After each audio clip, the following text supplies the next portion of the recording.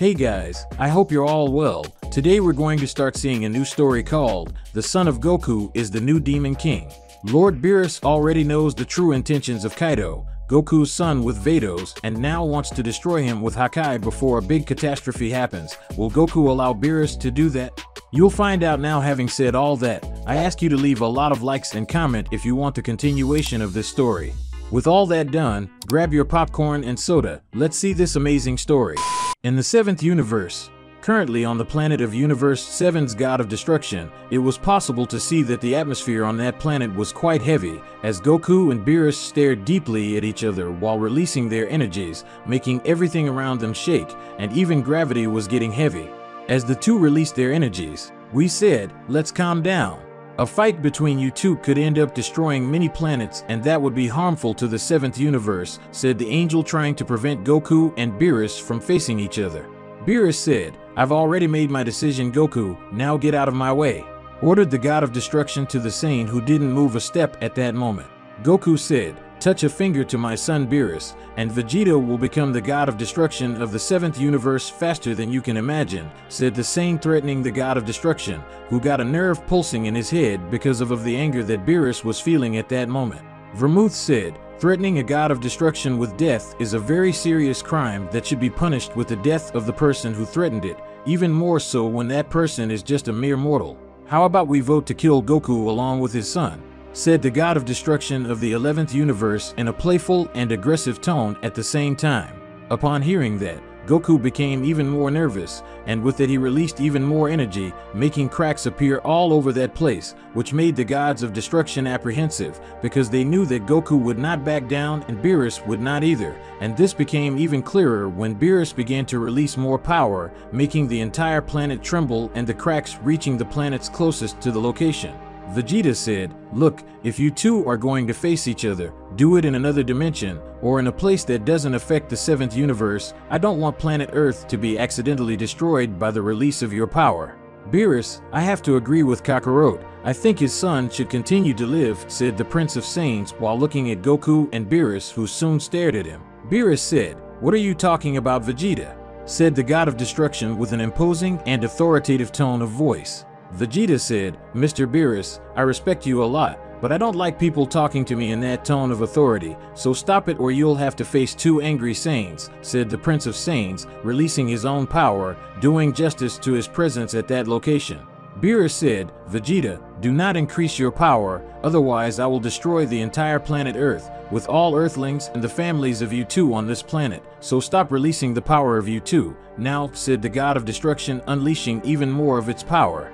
Vegeta said, Right, then we will have a combat between the strongest mortals of the seventh universe against the god of destruction of the seventh universe, said the Prince of the Saiyans, approaching and standing next to Goku who activated the power of the complete superior instinct, together with Vegeta who activated the power of the Ultra Ego. Beerus spoke, so be it, said the god of destruction after making the decision to face both Saiyans. Soon an explosion happened in that room forming a big curtain of dust, Goku and Vegeta got out of that dust, being followed by Beerus who had a furious expression on his face, while the Saiyans were very serious at that moment. Beerus used all his speed to go against the Saiyans, who, when they stepped on the ground, advanced against the god of destruction, clashing their fists against Beerus' fists, thus creating a gigantic impact wave. Goku and Vegeta, even though they were rivals, knew very well how to work together, and because of that, both Saiyans began to face Beerus with an enviable synchrony, only Beerus was stronger and had much more experience than the two Saiyans together, so he was managing to fight very well against the two Saiyans. Beerus, using his power of destruction, created several spheres of energy of destruction and fired at both Saiyans, who were managing to dodge all of Beerus's attacks. Vegeta, who was already tired of that, began to fire his own energy spheres from the destruction and in this way Vegeta managed to nullify the spheres of destruction fired by Beerus. Goku seeing an opening, flexed his knees and gave a boost towards Beerus, who saw that and fired a sphere of destruction in Goku's direction, but Beerus' sphere was nullified by Vegeta who fired his own sphere of destruction.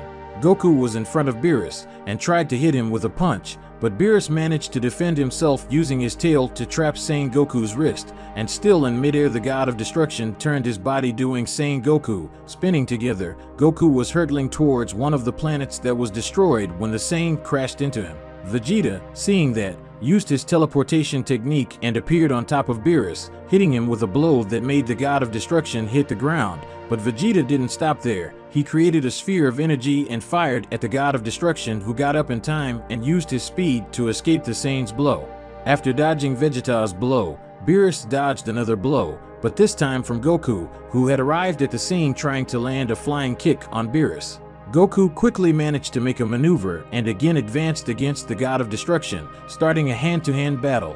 Goku was attacking Beerus at high speed and Beerus was managing to defend himself from all attacks, but Beerus was surprised when he felt something holding his leg, and when he looked he saw that it was a tail made of ki. Taking advantage of Beerus' surprise, Goku landed a punch full of energy in the center of Beerus' abdomen, making the God of Destruction be thrown away, but when Beerus tried to recover, Vegeta was already in front of him, hitting Beerus with a kick, which made the god of destruction flew across most of your planet.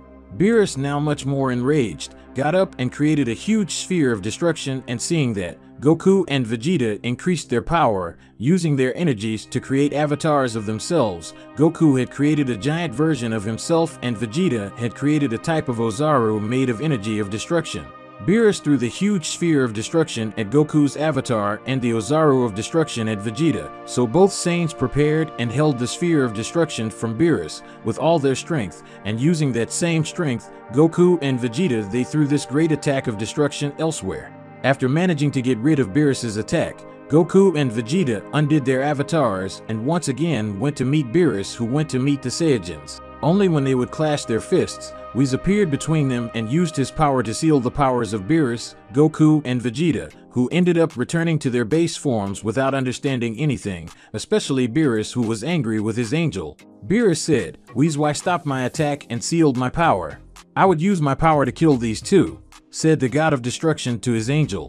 Whis said, if this fight continued, the seventh universe would be destroyed. When you were fighting, several planets were destroyed, and if it continued, the energy would be sent to other universes, said the angel hitting his staff on the ground two times, making it appear a hologram that showed several planets completely destroyed, where some of them had life. Whis said, this battle ends here and now, as the angel of this universe, it is my duty to help and advise you, Mr. Beerus, but it is also my duty not to allow you to destroy everything that exists. And if in case your energy goes to other planets, my father would come personally, and probably you would be removed from your position as god of destruction, Mr. Beerus, said the angel seriously to Beerus, who snorted irritated.